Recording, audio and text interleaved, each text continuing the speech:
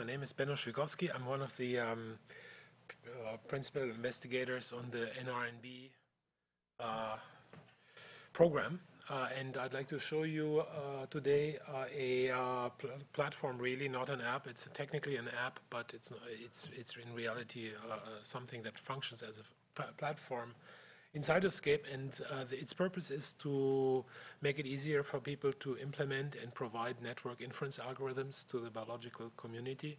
This is uh, work with Oriol Guitart, who is a, a uh, engineer, software engineer in the group, who is going to give you a demo in a minute. Uh, and we are in uh, Paris, and uh, there's our website. Frank Rühlkammer is a postdoc who has helped us conceive this. Um, so we view the role of net network works really as something that can take us from, from here to here. It makes the problem of going from the genotype and the perturbations that we have to the phenotype uh, uh, a little bit easier and, and, to reason about what uh, causes uh, heart disease uh, based on genetic perturbations and, and, all the measurements that we can make on these molecules a lot easier. And uh, our observation was that, of course, we have technologies that allow us to measure all these things, but they're really focused on the elements uh, like the proteins, the RNA, the metabolites, and of course the genome. But the connections, uh, that's really going uh, kind of an order, order of magnitude uh, slower. We have, for instance, lots of RNA measurements, but few large-scale measurements of, of these interactions. So one area, of course, that addresses that is called network inference. Uh, it's something that really uh, taking off a little bit in the past few years. Uh, among other things, there are a few high-profile articles that derive these networks from measurements of uh, RNA uh, under external perturbations or uh, RNAi perturbations. Um, uh, one principal approach uh, that's being taken in, for instance, in this paper is uh, has to do with Bayesian networks. One or the other, if you may know what, what exactly that is. But then there's also the uh, uh, DREAM initiative that uh, tries to provide a platform to evaluate all of these things. And I'm showing you here a long list that they published in a recent paper with all these different approaches that are there. Now, when you look what is how, much of that you can do in Cytoscape, uh, there's not so much around. There are a few uh, softwares outside of Cytoscape, like this one that uh, is one of the classical methods, I would say, in, in, biology to do these things. It doesn't have many citations.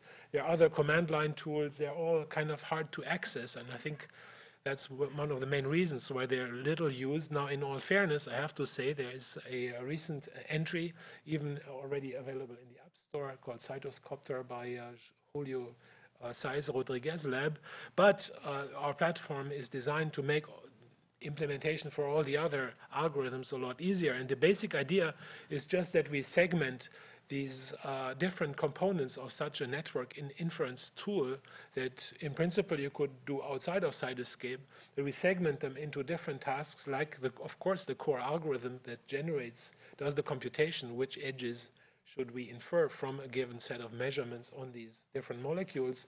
But then there's also similarity metrics that are being used by many algorithms, and many times they're the same metrics to measure similarity or distance between these measurements. There are things like discretization or data imputation that need to be done. There's the elements of the graphical user interface that really don't interest many things who, let's say, care and do their research only ab uh, in, uh, about the core algorithm, maybe not even in the area of biology. So we thought that if we provide an infrastructure that uh, and, and, fill it with a little bit of life and let people focus, let's say these people who develop these algorithms, sometimes in other fields, focus on the core algorithm and provide the things around them, that maybe we can um, you know, make the panorama of approaches that are available as tools for biologists a little bit uh, richer. Uh, and of course, as a user, you can then benefit from the combination. You can use algorithm R, A with similarity metric B, and discretization appro approach uh, uh, uh, C. So with, with that, I'm handing over to Oriol, who will show you where we are with this. We started earlier in this year, and it's going to show you what it looks in Cytoscape 3. Okay. Um, so yes, I'll start with a demo of what uh, any user that downloads the app from the App Store can can see, and then And then I'll talk a little bit of what's internally in, in CyNI uh, so that uh, future app developers could could use. Um, so, well, first of all, well, uh, to, to do this demo, we'll use the um, filter. That's very common. Uh, we use the, so we use the data in gulf filter. And so to to start, well, first of all, maybe we want to make sure that the data we have uh, doesn't contain any missing values. So to do that, uh, we go to CyNI. CyNI, by the way, it's fine in tools. Uh, where it's here in CyNI tools. In, and the, so to estimate uh, the data, we go to the data imputation tool. And then um, we select one of the algorithms that are already available. We'll choose the BPCA, which is the state of the art in these techniques. And then the, the list of the tables that we could estimate the data. We choose the node. It's the one we'll use for the network induction. And once the two inputs are selected, then we have uh, the parameters for this algorithm and this data. In this case, it's just a parameter to decide uh, which, uh, how the missing values are. Um, uh, a way so we can decide an interval or just a number, but uh, also any gap in the cell in the table also will be considered and estimated and uh, missing value. So we click execute imputation, and just, uh, it tells us the number of missing entries found and the number of estimated missing entries. So if everything goes well, the number should be the same. So now we are sure that uh, the data doesn't contain missing values. So now let, us suppose that um, we want to um, use the the log um, the log expression ratio data to induce a new network. So, but uh, the, for example, we want uh, to use one of the Bayesian algorithms that we provide. And so, first of all, well, we need to discretize uh, our data. So we go to Tools, CyNI Tools, and and we use the data discretization tool. We select, uh, again, the, one of the algorithms. In this case, we, uh, so far we only have one, and the table data, again, the nodes. And again, we, we can see the, the parameters for, the, for this algorithm. Uh, well, the number, the number of bins, we'll leave it to five. If we're going to use, in this case, usual equal frequency. And also, uh, in this case, we want to use the, the, the, same thresholds for all the, the columns that we are going to select. Uh, and here we are going to look for the columns that contains the data we want to discretize. Uh, so we select the, the columns to discretize, these ones. So now we only have to click execute discretization. Well, it seems that nothing happens, but uh, because it goes really fast. But if you go to the table, okay, we have uh, three new columns with uh, discretized uh, values. Uh, these columns always uh, starts with nominal, a dot, and then the name of the original column. So now that we have the, the data discretized, we can go to the the tools again and use the network induction tool. And uh, we have, in, so far, uh, we have three algorithms. Um, well, we'll show later where we, we, can find a documentation for each of the, uh, explaining the, all the parameters for each of these algorithms. In this case, our, for the demo, we'll choose the K2 Bayesian. And the data is just uh, the node. So again, we have here all the, the parameters for this uh, algorithm. For example, uh, we need to use a similarity metric, and for this algorithm, there are all these possibilities of metrics, and well, we'll keep the Bayesian one. Uh, we can, well, maximum number of parents, if we want to use, for example, random ordering. And then here's the list of uh, data attributes that um, contains uh, the data, strings, and we, we, we select the the three columns that we just discretized. And, well, so we can start the induction. It's pretty fast. And so the result for this kind of algorithm, it's a direct acyclic graph. So we, we can see that, um, uh, well, this is a, it's a directed uh, graph, and just to make this uh, look, look nicer, because it's, this is a grid layout, well, let's just use, for example, organic, and we can see that, well, uh, we're getting some kind of uh, structure where some genes have more importance probably than the other one, so, well, this, and then we should analyze this data.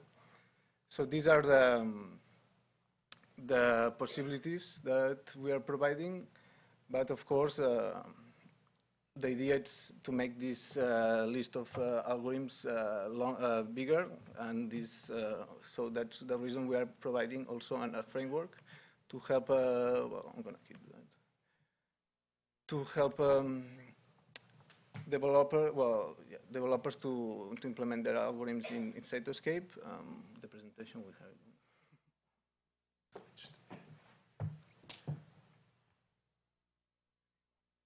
Okay. So, so just um, briefly, I'm going to talk a, a little bit uh, about what's internally uh, the structure of CyNI. That's uh, basically something that especially will be useful for uh, app developers that wants to, to integrate the algorithms through CyNI. So the, the goal of, um, of CyNI was to, to create an extensible framework, and this the main element in this framework is the CyNI API, where there are uh, several elements. Uh, basically, the first, uh, most important is the CyNI manager interfaces. So any element in Cytoscape that wants to use uh, uh, an element in, in CyNI needs to, to go through this interface and use the, the functions to do that.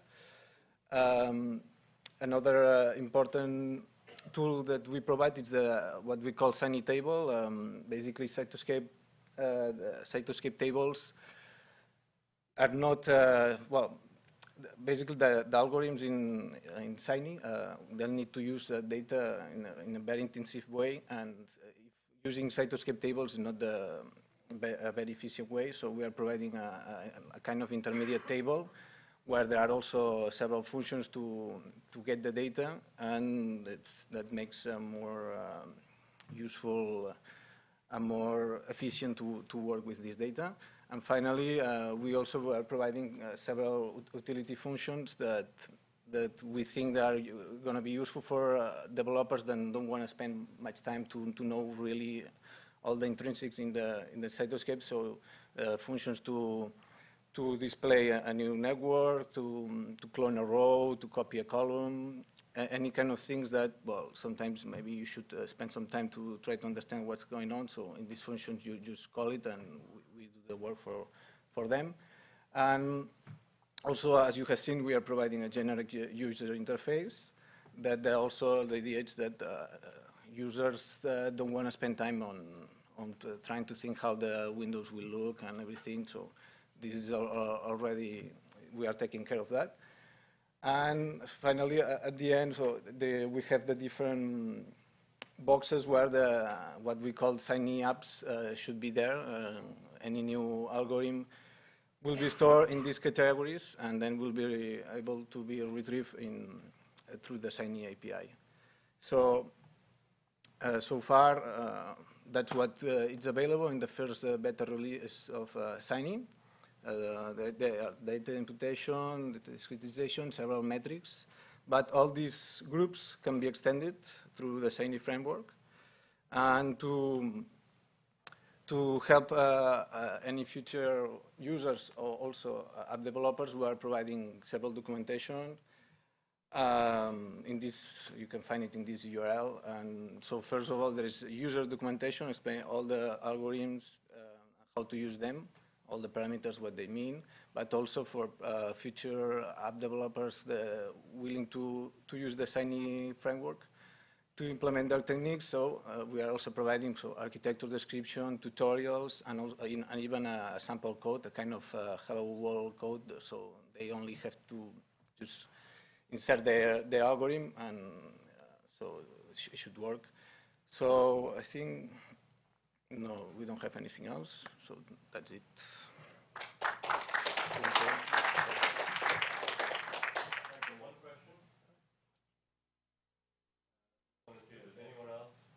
Sorry, Bill, you know, you're lo you're up. Okay. Um so how does the uh, CyNI